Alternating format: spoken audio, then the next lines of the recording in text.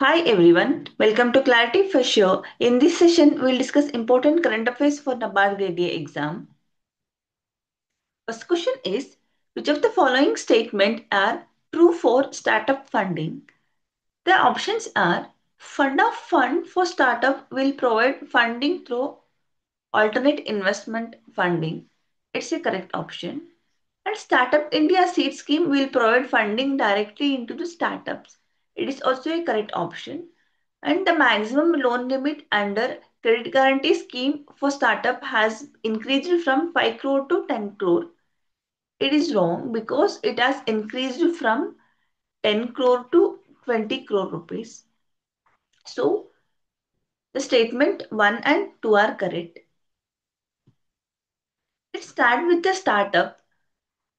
The criteria to be eligible for startup recognition are the turnover of that entity should be less than 100 crore in the previous financial year. And up to the 10 years of establishment it uh, will be considered as startup and should it should work towards innovation or improvement of existing product services or processes and has the potential to generate employment. When it comes to indian scenario india has third largest startup ecosystem in the world and the job creation in the startups uh, are more in IT services, followed by healthcare, life science, and professional and commercial services. And under the credit guarantee scheme for the startup, the limit has increased from 10 crore rupees to 20 crore rupees for eligible borrowers and is it will be uh, dispersed through Credit Guarantee Trustee Company Limited.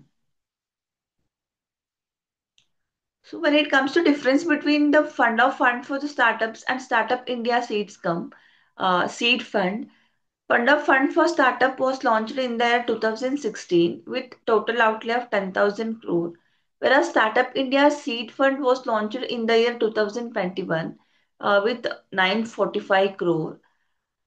Fund of Fund for the startup will not directly uh, fund for the startups it will indirectly fund them through the alternative investment fund. Whereas the startup india seed fund will directly uh, give grants to the startups. And target audience under the ffs scheme is uh, alternate investment funds. Uh, and under the uh, startup india seed fund is the early stage startups. And when it comes to its lending it will the government will invest in the artificial investment fund which will in turn invest in the startups. Whereas here it will directly uh, invest in the startups. The fund of fund for the startup will increase the capital availability for the startups. Whereas startup india seeds fund will provide the seed funding to the early stage startups Next question is uh, related to fishery sector. The question is which of the following statement are true for the fishery sector? Option R. India global ranking is the as second largest to fish producing country with 8% share in global production. It's a correct option. India stands first in aquaculture production with 139 lakh tons. It's not uh, first. India also ranks second in aquaculture production second in aquaculture and second in fish production. So it's a wrong option.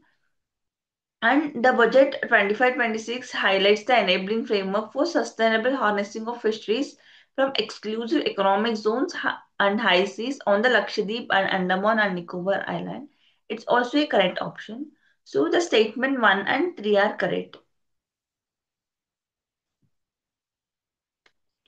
So in the Union Budget 2025-26, the KCC limit has increased from 3 lakh to 5 lakh rupees uh, uh, to uh, increase the credit flow uh, to the rural farmers and the fishery farmers. And also uh, the uh, basic custom duty on the free uh, frozen uh, fish uh, paste has also reduced from 30 percentage to 5 percentage. And also uh, the Indian uh, shrimp uh, import duty has also uh, reduced from 15 percentage to 5 percentage.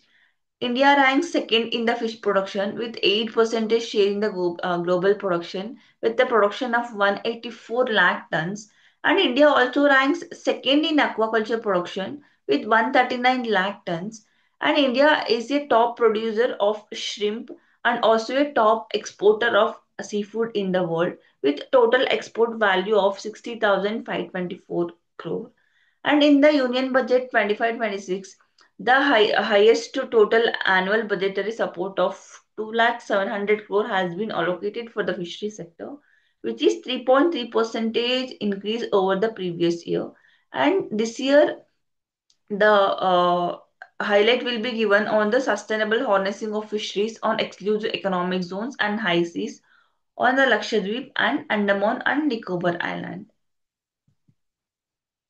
Next question is regarding uh, the Pradhan Mantri Dhan Dhaanya Krishi Yojana, which was launched in the Union Budget 2025-26. The question is, which of the following statements are true regarding the Pradhan Mantri Dhan Dhaanya Krishi Yojana? The options are, it is for enhancing the agricultural productivity. It's a correct option. To adopt the crop diversification and sustainable agricultural practices. It is also a correct option. To augment the post-harvest storage at panchayat and block level. It's also a correct option. And for improving irrigation facility and credit availability, it is also a correct option. So the all the statements are correct. In the Union Budget, uh, a pro, uh, initiative Prime Minister Dhan Dhaanya Krishi Yojana was launched, covering 100 districts with low productivity, moderate crop intensity, and below average credit parameters. And it is expected to benefit 1.7 crore farmers in India. And the ma- main aim of the scheme is to modernize the farming methods, provide financial security for the farmers, and promote sustainable agriculture and the, uh, announcing the agricultural productivity, adopting crop diversification and sustainable agricultural practices, augmentation of post-harvest storage at uh, panchayat and block level, improve irrigation facility, and improving the credit availability to the farmers. Next question is, which of the following statement are true for Mission for Atmanirbharata in Pulses launched in the Union Budget 2025-26? The options are it's a six-year mission with special focus on Tur, Urad and Moong. It's a wrong option because it is a six-year mission with special focus on Tur, Urad and Masoor. It is not Moong. And the central agencies like uh, NAFED and NFCCC will procure the, these three pulses offered by the farmers for next four years. It's also a correct option and emphasis will be given on climate resilient seeds, protein content, productivity, post-harvest storage, and remunerative prices for the farmer. It's also a correct option. So the statement 2 and 3 are correct. Uh, 2 and 3 are correct.